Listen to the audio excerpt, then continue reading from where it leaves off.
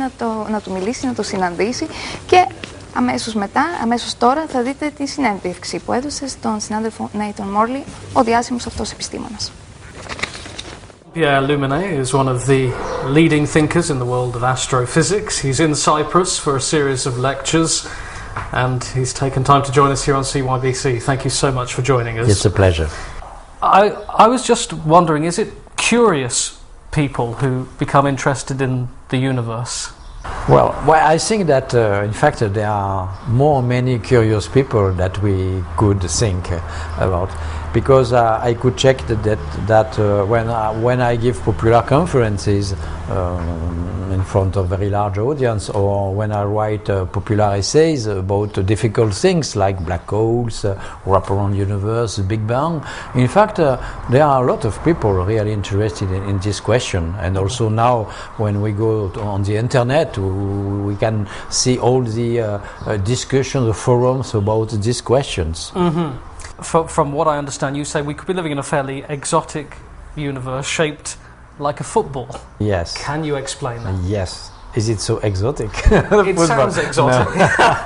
Well, well, the, uh, the name of the football universe uh, was in fact a journalistic invention after the publication of Uh-huh. one, uh, my paper uh, in Nature in 2003. In fact, uh, well, I was always interested as, as a mathematician because I'm not an astronomer, I'm rather uh, a, a theorist uh, dealing with mathematics to uh, imagine, uh, well, some models of the physical world. I was always fascinated by the idea that uh, the real space, the real universe could be uh, not infinite but finite without edge because it has no meaning to imagine that uh, space can have boundaries uh, and that uh, in fact uh, the space could be reconnected in some part. So Uh-huh. the image of football, well, it's not a good image, but it's come. It if it, it's a little bit like if you lived in a kind of 3D video games.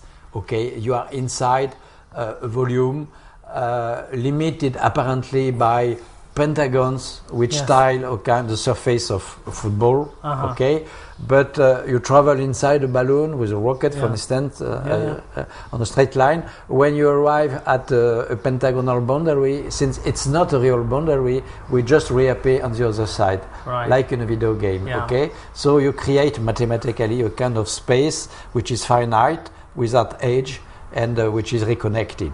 And this kind of model that I propose in 2003 can explain some observed properties of the universe. Now, do you believe that the laws of physics are the same throughout the universe? Oh, it's a very important question.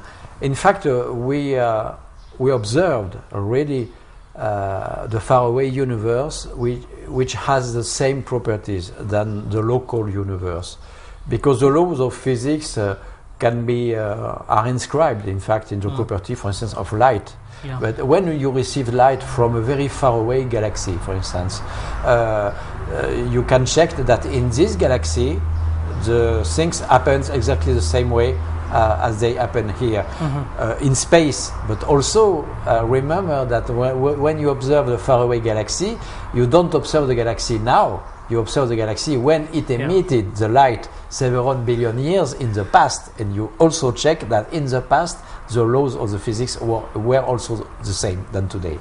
Can you tell us a little bit uh, about why you're here on the island, where, where you are giving a series of lectures? Yes, because uh, well, for me it's very important to uh, to make uh, popularization of science and uh, well, difficult but fascinating concepts about cosmology, black holes, and all that life in the uh, uh, universe. So I devote a large part of my time not only in pure research but also in making all this uh, uh, job of uh, writing popular books and giving a conference uh, all around the world. Okay, so in fact uh, I was just contacted here by the the the, the, the, uh, the embassy to give uh, conferences and uh, regularly all uh, the year I travel abroad to give uh, to give conferences at different levels. Some conferences for a school, like Yeah. this morning. Conferences for the uh, uh, local university in the Department of Physics, a little bit more advanced, and conference for general audience. Now, I understand that you have a star named after you.